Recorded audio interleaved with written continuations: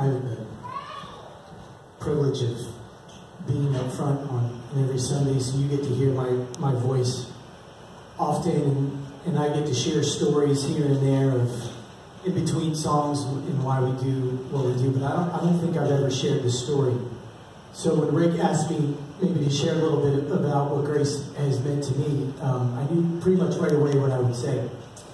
Um, I I was in seminary in the late 90s. And while I was taking classes, I was attending a church and volunteering at the church, and eventually they, they actually brought me on staff uh, for, for one day a week to, to work with the youth. And I adored the students that I was working with. I was not as fond with some of the adults and the decisions that they were making in the church. It almost seemed like the things that I was learning in class, they were doing the direct opposite. And it was really making for an unhealthy environment. So when I graduated from seven from seminary in 1999, I wanted nothing to do with the local church. That may sound strange. Why would a seminary student want nothing to do with the local church? It was because of the experience that I had. So I was all in on trying to find a parachurch organization that I could work with. So when Fred Rowley in, in late 1999 offered me a full-time job at Camp Spofford, I was thrilled. I was thrilled to be able to be a part of that and, and to come up and, and, actually start putting into practice the things that I learned. But when I moved up here in, in late 1999, I, I did want to find a church home. And this, I was pointed to this body of believers. And over time, God has used this church not just to restore my love for the local church, but to grow.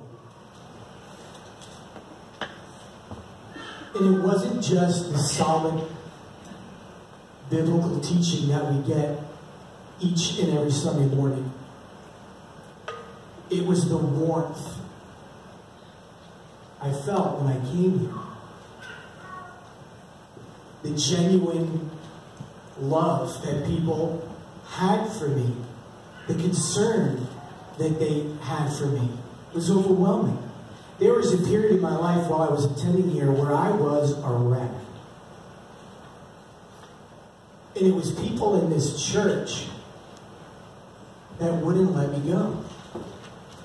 There's, there's a story in Exodus chapter 17 of, of the Israelites going into battle against the Amalekites. And it's kind of an odd story because Moses is leading his people. God instructs him to go up on top of this mountain and lift his rod up to heaven. And as long as Moses' rod is lifted up to heaven, the Israelites having no problem winning the battle with the Amalekites. It's when his arms grew tired and the rod began to fall that the tide turned in the battle. So Moses' brother Aaron and this other gentleman named Hur came alongside Moses and simply propped up his arms when he was too tired to do.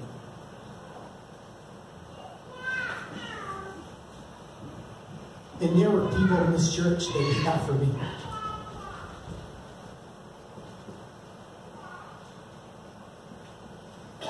And I'm guessing many of you call this place home for the very same reasons. The faithful biblical teaching and the genuine love and concern that the body has for one And I'm willing to bet all the money in my pocket against all the money in yours. That if we continue to do that, faithfully preach the Word of God, and extend Christ's love and compassion and mercy to each individual that comes to this place on a regular basis and walks through that door, for the first time. It is only a matter of time before we will need a new physical plant here because we will continue to grow. Because it's what God is calling us to do, and it's what the world is desperately longing for. So when it comes new physical plant here, I'm all in. Because I see you guys, and I know you're going to continue to love each other and love the people who come here for the first time. And I'm willing to bet that Lou's not going to change the way that he preaches. So the only logical conclusion is we are going to continue to have the blessing of God fall on us. We are going to continue to live under God's smile. We are going to continue to grow. And a new physical plant right here will allow us to do that much more to the people that are coming here who are longing to hear from God and to be loved for who they are.